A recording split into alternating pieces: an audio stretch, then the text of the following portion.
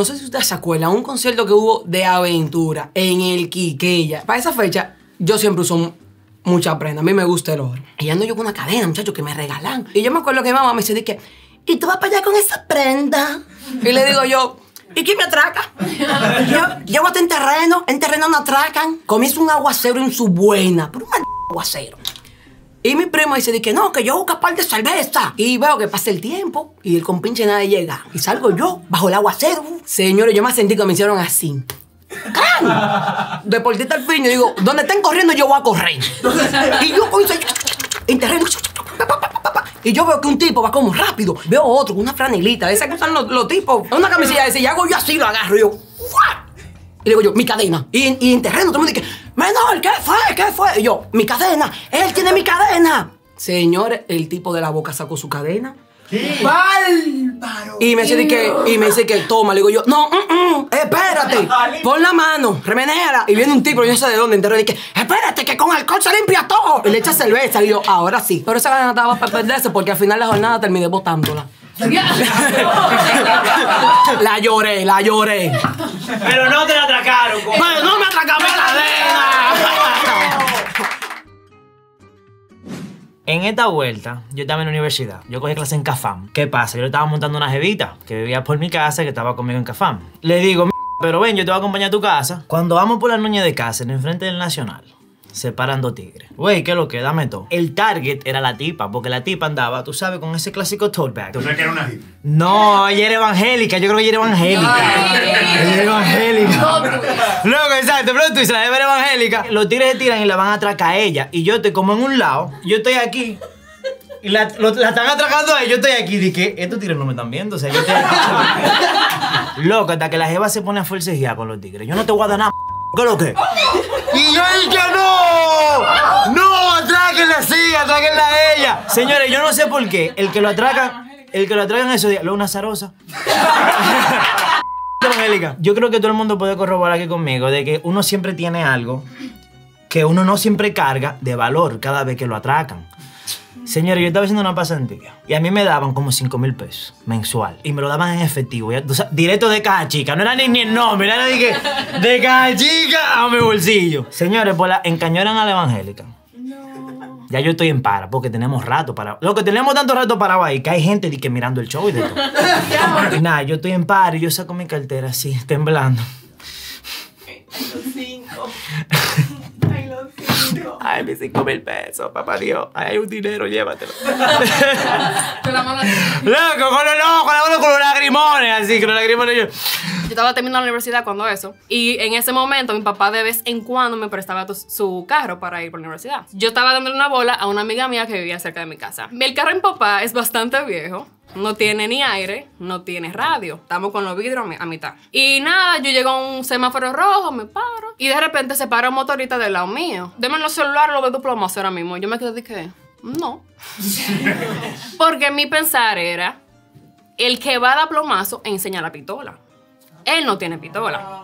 La amiga mía que está al lado, ella no entendió qué él dijo. ¿Qué fue lo que él dijo? Yo me quedé de que, que si, nos, si no le damos los celulares, nos va a dar plomazo. Ella se quedó en shock. Claramente, como toda persona normal, el celular está sonando música y yo no puedo decirle a él que no tengo celular. Y cuando me volteo otra vez para decirle que no, literalmente cuando yo voy a voltearme, llega otro motor con dos policías que lo tumban, o sea, lo chocaron y comenzaron a forcejearle. Y en el forcejeo yo estoy viendo que el tipo tenía una pistola aquí. Y yo dije, ah. Se puso a ver y dije, ups, y aquí no pasó nada. Yo practicaba CrossFit y yo tenía la tendencia que después de que terminaba de entrenar, como que para seguir con el rendimiento y la cosa, yo voy a caminar. Yo andaba con mucho dinero en efectivo en ese momento. Yo estoy con mis audífonos porque yo pienso que estoy en el primer mundo. Y estoy, y estoy caminando, chilling en la calle, la, la, la, la, la. Y me frena un pana y me pone un puñal aquí. Y me dice, dame to menor. Ahora. Yo pensé que era chelcha, pero escuchen porque yo pensé que era chelcha. La semana pasada, yo caminé por ahí y un pana mío me había hecho eso. Y cuando yo volteo, loco, ¿qué es lo que? Bla, bla, bla. Entonces, yo pensé que era chelcha. El pana me pone el puñal. ¿Qué es lo que es menor? Dame dos. ¿Qué es lo que, papá? Tú no eres mi pana. Y yo no, yo no voy a con él, pero yo voy a tratar de ser más inteligente que el atracador. Dame todo, papá. Yo no tengo nada, men. En verdad, en verdad, o sea. Y le abro la mochila y en la mochila hay como 15 pesos. Y él dice, loco, ¿cómo así, men? Y, ese, y esa vaina, loco. Y me dice, dame el celular, dame el celular. Y yo, chilling, también le voy a dar el celular, saco el celular. ¿Cómo que tú haces por aquí con un iPhone? O sea, ¿qué yo voy a hacer con esa vaina? Y yo dije, te lo doy, no te lo doy. Me devuelve el celular. Lo guardo. Yo dije, "M***, ¿y ahora qué es lo que yo voy a hacer? Yo di como cinco pasos y se me cae la cartera. Y el pana me dice, yo sé que tú te querías pasar inteligente, ven para acá. Yo no sé si ustedes se acuerdan de la gran protesta que sucedió en el 2020. Yo estaba como con un grupo de gente súper random que tampoco conocía, como gente de la protesta, qué sé yo, loco. Y estábamos así de que la, la, la, caminando tranquilo. Y se para, o sea, yo escuché el sonido de que clásico, el, el brum, brum, brum, ratata. Y ese pana nos cruzó así por adelante y yo, ¡no! Y todo el mundo siguió caminando. Y yo vi que ese motor cruzó la esquina y yo, yo le dije a todo el mundo, señores, párense aquí. Y justo ahí estaba cruzando un guagüero. Yo nunca pito tampoco, yo le pité al guagüero. Yo le expliqué al guagüero más o menos qué estaba pasando. Cuando él sigue hasta la esquina, Señores, el pana estaba esperando en la esquina. Él estaba esperando su coro. Él hasta se devolvió para ver qué estaba pasando. ¿Por qué los tigres no estaban ahí? A todo esto, yo me volví loca. O sea, cuando yo vi que ese pana estaba ahí esperando, yo dije, ¡Ese! ¡Ese! Y el guagüero dije, ¡Ven, atrácame a mí! El guagüero se paró y le empezó a vocear vaina, la atracaba.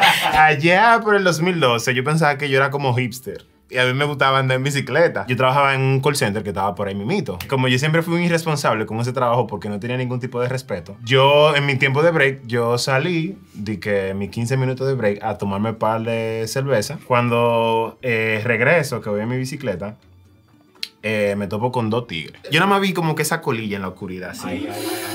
y yo, diablo, ¿qué hago ahora? Yo no entiendo de dónde fue que me salió esa ocurrencia, pero yo comencé a decir, yo soy Dios.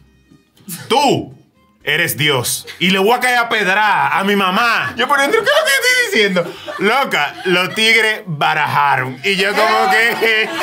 Gracias Dios. Yo era una joven relativamente nueva en el mundo. Acababa de conseguir mi primer trabajo. Toda la tarjeta de nómina la mandan para un solo banco en una sola plaza. Entonces vamos el corillo completo del training para la plaza. Bien, que sé yo qué, duramos muchísimo para allá, que no sé qué, dan las 9 de la noche. Tenía un compañero que vive para Santo Domingo Este. Entonces mi casa queda de camino para Santo Domingo Este. Yo déjame caminar rápido, que sé yo qué. El, el amigo mío me dice de que tú estás seguro, que tú no quieres que te bajes para tu casa. Que. Y yo, no, fulano. Baraja, que tú tienes que cruzar. Yo cruzo rapidísimo, que sí yo qué. Voy yo caminando ahí, bajando la calle, lo que hay, que sí yo qué. Y yo, camina, fulana, que después de que pasemos esta, esta esquina, tú sabes que los atracadores nos siguen para abajo, que doblan ahí mismo en esta esquina. Efectivamente. Efectivamente, escucho yo el brum y yo, y yo, fulana, ahí mismo en la esquina, dame todo, te meto un plomazo. Y yo, líder, eso yo lo compré para usted, fue. Yo tenía una mochilita que yo estaba obsesionada con esa mochila, rosada, que la compré en Payless. Y yo, líder, mire, ese color le combina con los ojos.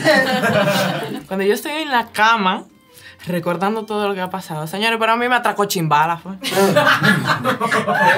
tigre, literalmente, el pana cuando me dijo, dame esto o te meto un plomazo, yo hice esto. ¿De quién no me está hablando a mí?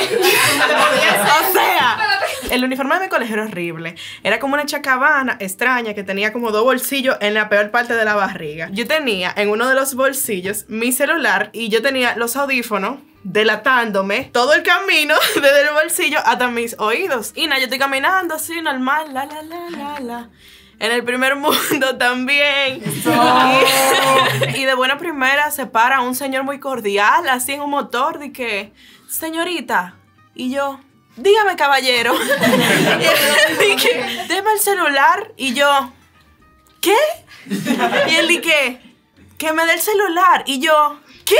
Señores, yo le hice eso como cuatro veces ese tigre, y yo también quité un. Dije, ¿qué? ¿Usted está oyendo esa música que está sonando? Eso del colegio, qué sé yo qué. Loco, yo nunca corro. Y yo corrí, mi amor, ese día como que no hay mañana. Yo, de deporte te yo corrí lejos, real. Yo nunca cogí una clase de deporte, pero ese día yo corrí. Salí invicta, llegué al colegio, eso sí. Llegué al colegio y me tiré hacia una esquina. Dije, ¡ah! Han hablado de atracos, han hablado de casi atracos y ahora llevan con uno nuevo. Este es el atraco sofisticado. Este atraco duró seis meses. Yo entro a la puca, 2016, y yo tengo un iPhone 5S. El punto es que yo digo, teléfono ya está de cambiar y vaina. Déjame yo comprarme un 7 Plus, en verdad, que esto es una buena opción en este momento. Yo trabajaba en Vimenca. El departamento mío, ellos decidieron cancelarlo por completo. A mí me tocó una moña. Lo primero que yo hago es, vamos a entrar a Coroto. Ahí es que están los mejores precios. Encuentro un iPhone 7 Plus. Yo, Álvaro, este es 25 mil pesos. Yo, es una ganga. Ahora es. Pero llamo al tipo, lo contacto, toda la vaina. Llega un tigre con una gorra de los Lakers, una vaina así. Yo dije, mmm.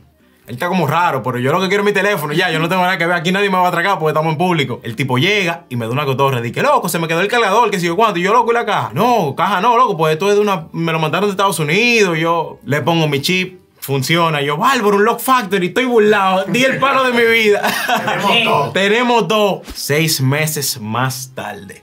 Estoy sentado en mi casa jugando PlayStation y me llaman de un número desconocido. Sí, Joel Rodríguez. Yo, sí, eso soy yo. A usted le han robado la identidad, le hablamos del DICA. Venga para el DICA, para la oficina, que nosotros vamos a resolver todo eso aquí. Cuando estoy yo allá, yo, comandante, el teniente coronel, tal gente, por favor, necesito hablar con él, que me han robado mi identidad, estoy descubierto. Eh, habla- Cuando yo llego allá me dicen, ah, sí, Joel, pase por aquí, por favor. Y me entregan un papel. Y me dicen, pase por aquí, ven, y yo arrastrando mi hoja. Cuando me sientan en un cuartico, el cuartico más frío del mundo. Señor, lea atentamente ese papel. Duró como 15 minutos leyendo el, libro ese. Al final, tiene un email. El tipo me dice, marca estos dígitos, dígitos en tu teléfono. Y sale el, el email. Y me dice, compáralo con esa denuncia, porque el papel que me entregó era una denuncia. Y él dice, son correctos, ¿verdad? Y yo, eh, como que, en verdad sí, yo no estoy pensando ya en buscarme problemas con la policía. Brother, le estamos dando mucha larga a esto. ¿Qué es lo que pasa? ¿Este teléfono es robado? Es robado. Yo, bárbaro. Pero no, no hay ningún problema, pienso yo en mi cabeza. Pues yo pagué mi cuarto. y ya después que yo pago mi cuarto, las vainas son mías. 17 años al fin. Bueno, tiene que dejar el teléfono aquí. Yo, ¿cómo así? Pues usted está loco. Usted está volviendo loco. Después que yo metí mi cuarto y trabajé, bueno, me votaron y me dieron mi cuarto. Dije que se lo voy a dar. No, eso no funciona así. ¿Qué pasa si yo no se lo doy? El proceso para que te llamáramos a ti eh, con el cuento de que te habían robado la identidad fue porque te depuramos. Decidimos jugar esa para que no tener que irte a buscar, buscar a tu casa y tumbarte la puerta y meterte preso. Y yo, oh. ok. Ok, yo para que no me tumben la puerta de mi casa, ¿verdad? Muy bonita que entrego mi teléfono, hago mi formateo y toda la vaina. Eh, yo estaba en un rodaje y estábamos en el Olé de la Jacobo. Y recuerdo que mi amiga, como que alguien, no recuerdo quién, le dijo de que, oye, préstame tu celular, que lo tenemos que usar de pro. Y ella dije, sí, sí, está bien, resuelve. Nada pasó, como que seguimos trabajando, seguimos bregando. Y cuando nos dijeron que teníamos que movernos de una locación a la otra, mi amiga estaba de que, ok, vamos a movernos, déjame ubicar todas mis cosas. Pues cuando ella va donde la tipa y le dice de que mi celular para irme, y la tipa di que a la tipa se le bajó así como el color de la piel, la presión, ella estaba de que y tú no lo tienes. mi amiga le hizo un show en el, en el área de las cajas de Olé a la tipa de que yo no lo puedo creer. ¿Quién tiene una computadora? ¿Quién tiene una computadora? Loco, el celular estaba entrando a Villamella. ya yo le dije, bueno, loca, imagínate qué tú vas a hacer, caerle atrás. Efectivamente. Mi amor, cuando yo veo, mi amor, que voy al parqueo de Lolé, que veo a mi amiga subida con el seguridad, el pana que estaba haciendo boom y el que estaba haciendo continuidad en el mismo vehículo, todos montados, y yo voy y me monto, mi amor, arriba del seguridad. ¿El seguridad de Lole? No, no, era un seguridad que estaba con nosotros, con el rodaje. Y fuimos así a lo loquísimo. Yo tenía arriba del seguridad la computadora puesta, siguiendo el celular, y un loco de que, ¿dónde? ¿Dónde? Y mi amiga empezó, como no sabía, ni siquiera decía el nombre de las calles en el mapa. Ella estaba de que bajaba el vidrio y le decía, ¿dónde está la calle tal? Y la gente. Loco, y nosotros dimos pila de vuelta, hasta nos paramos en una calle sin salida. Empezamos a decirle a todo el mundo, di que, señores, vimos que el celular está como por aquí y ella es hija de un coronel. Mentira. ella vino ahora, para ella está tranquila, pero si viene su papá, se va al mala del diablo, que sé yo, que empezamos a meter miedo, señores. Cuando llegamos a un punto en el que no podíamos ver ni el final de la calle, de lo oscuro que estaba, yo le dije, loca, tu celular no vale tanto. Probablemente tú vas a poder conseguir otro. Y nos devolvimos y caímos a la próxima locación. Mi loco, nosotros teníamos un grupo de WhatsApp y en una yo veo una notificación del grupo y es mi amiga que está hablando. a la que le robaron el celular. Y dije, yo me encontré este celular en el parqueo de la OLE. Mentira, mi amor. Seguro que ella le tocó la puerta a una de esa gente y le dijo, mi papá coronel te va a meter preso. Señores, y la persona fue y le devolvió el celular. Se reunieron en un punto.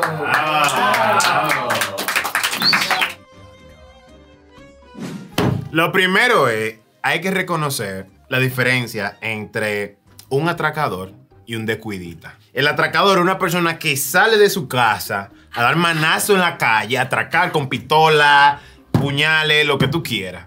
El descuidita es una gente que ve un estúpido con un audífono puesto, no es por ti, mi amor. Un celular cerca de la ventana y dice, ¿tú sabes qué? Yo tengo que pagar la renta este mes. Señores, aprendan a diferenciar el sonido de un motor cualquiera y un 115. Un 70 de motor de delivery suena así.